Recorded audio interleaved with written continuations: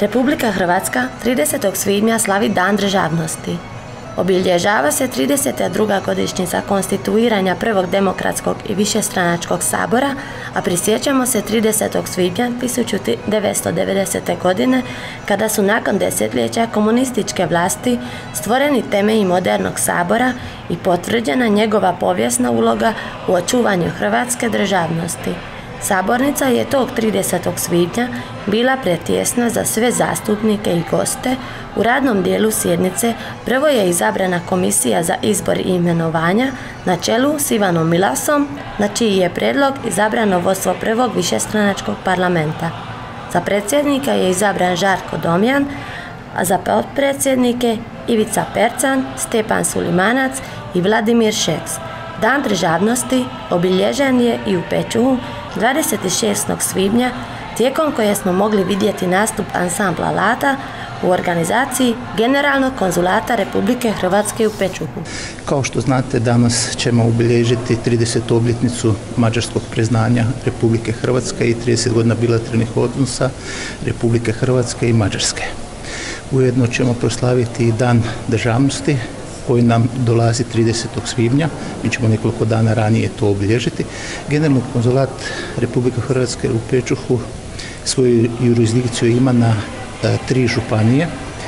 Županija Baranja, Županija Bačkiškuš i Županija Somuđi. Znači svi hrvatski e, ljudi koji imaju potrebe za bilo kakvom e,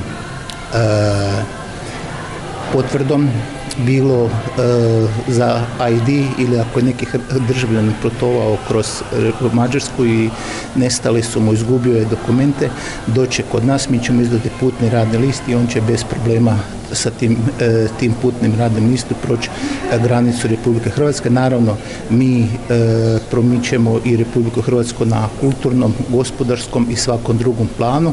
Najviše tu ima interega gdje pomažemo kako mađarskoj strani da nađe partnera s hrvatske strane, jednako tako e, hrvatskim partnerima da pronađu partnere sa ove strane u Mađarskoj. U okviru programa Interreg, suradnje Mađarske i Hrvatske, EDMI u St. Lorincu i Ustanova za specijalno obrazovanje i metodologiju u Virovitici zatvorili su uspješan projekt. Glazba nas pokreće, kultura nas povezuje. Bio je to moto zajedničkog prekograničnog Interreg projekta Ustanove za specijalno obrazovanje u St. Lorincu i Virovitici u Hrvatskoj.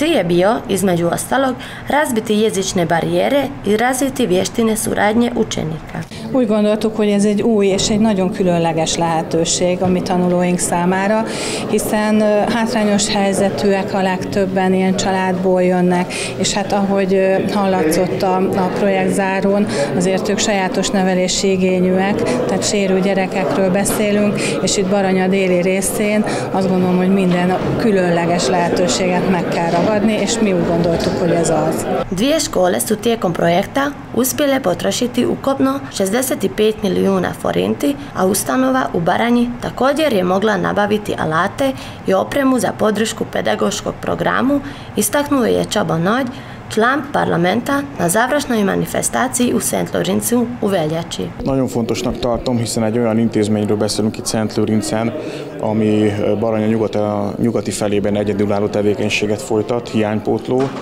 és e tekintetben nagyon örülök annak, hogy a horvát partnerintézménnyel gyakorlati kapcsolatot tudtak kialakítani. Ez nyilván pedagógiai szempontból is fontos, illetve a két ország szempontjából is nagyon fontos kapcsolatról van szó, hiszen most is úgy fejezte be mindenki a beszédét, hogy azt szeretné, hogy a közeljövőben ez a program tovább folytatódjék. Interreg program keretén belül mintegy 65 millió forintot tudott a két intézmény elkölteni erre a programba.